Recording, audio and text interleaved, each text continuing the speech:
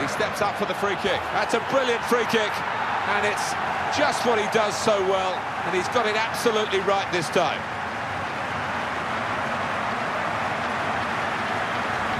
I think the keeper thought he was going to have this covered, but he's hit it with such pace and a bit of swerve too to find the left side. And that's a goal well worth analysing again.